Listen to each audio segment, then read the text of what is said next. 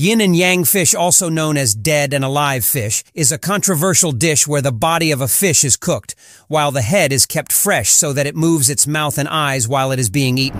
The origin of this dish actually comes from Taiwan, but it is more popular within China and is now banned in Taiwan. The reason behind it was so that the chef could actually show just how fresh the food was at the time of being prepared. First, the scales of the live fish were carefully removed without hurting it. Then, the head of the fish was wrapped in a towel with ice cubes and its body dunked in a wok full of hot oil and fried for about two minutes.